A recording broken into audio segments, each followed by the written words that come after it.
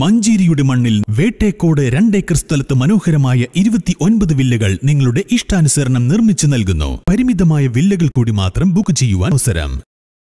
Super cup ഫുട്ബോളിലെ B ഗ്രൂപ്പിലെ ആദ്യ മത്സരത്തിൽ ഐസ്വാൾ എഫ് സിയെ മുട്ടുകുത്തിച്ച് ഹൈദരാബാദ് എഫ് സി. ഒന്നിനെതിരെ രണ്ട് ഗോളുകൾക്കാണ് ഇന്ത്യൻ സൂപ്പർ ലീഗ് പട്ടികയിൽ രണ്ടാം സ്ഥാനക്കാരായ ഹൈദരാബാദിന്റെ വിജയം.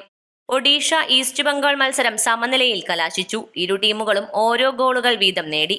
ജോയൽ ജോസഫ് ജോവോ വിക്ടർ എന്നിവരാണ് ഐസ്വാളിന്റെ വല കുലുക്കിയത്. ഇവാൻ വരാസ് ഐസ്വാളിനായി ആശ്വാസ ഗോൾ നേടി. കളിയുടെ തുടക്കത്തിൽ തന്നെ ആക്രമിച്ചു കളിക്കുക എന്ന തന്ത്രമാണ് ഹൈദരാബാദ് പുറത്തെടുത്തത്. പതിനേഴാം മിനിറ്റിൽ ഐസ്വാളിന്റെ വല കുലുങ്ങി. രണ്ടാം പകുതിയിൽ ഐസ്വാൾ താരങ്ങളും മത്സരത്തിൽ പിടിമുറുക്കി. പ്രതിരോധം ഉറപ്പിച്ചായിരുന്നു ഐസ്വാളിന്റെ നീക്കങ്ങൾ. അൻപത്തി ഒന്നാം മിനിറ്റിൽ രണ്ടാം ഗോൾ പിറന്നു. ഹൈദരാബാദ് മുന്നേറ്റ താരം അരയൻ ഡി സിൽവയെ വീഴ്ത്തിയതിന് ലഭിച്ച പെനാലിറ്റി പകരക്കാരനായി ഇറക്കിയ ജോവോ വിക്ടർ അനായാസം ഗോളാക്കി മാറ്റി. തൊണ്ണൂറ് മിനിറ്റ് കഴിഞ്ഞുള്ള അധിക സമയത്ത് ഐസ്വാളിന്റെ ബെലാരസ് താരം ഇവാൻ വരാസ് ബോക്സിന് പുറത്തു നിന്നും ലോങ് റേഞ്ചിലൂടെ ആശ്വാസ ഗോൾ നേടി. ഒഡീഷ ഈസ്റ്റ് ബംഗാൾ മത്സരം സമനിലയിൽ കലാശിച്ചു. ഇരു ടീമുകളും ഓരോ ഗോളുകൾ വീതം നേടി. ഈസ്റ്റ് ബംഗാളിനായി മുഹമ്മദ് മുബഷീറും ഒഡീഷയ്ക്കായി നന്ദകുമാറും ഗോൾ നേടി. ആദ്യ മിനിറ്റിൽ തന്നെ ഒഡീഷയുടെ മുന്നേറ്റം ഈസ്റ്റ് ബംഗാളിന്റെ ഗോൾമുഖത്തെത്തി മടങ്ങി.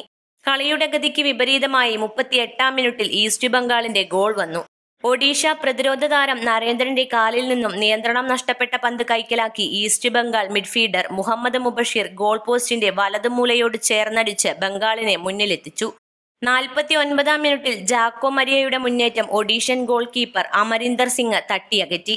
അൻപത്തി എട്ടാം മിനിറ്റിൽ ഒഡീഷയുടെ മൗറീഷ്യയുടെ ഗോൾ ശ്രമം ഓഫിൽ കുരുങ്ങി.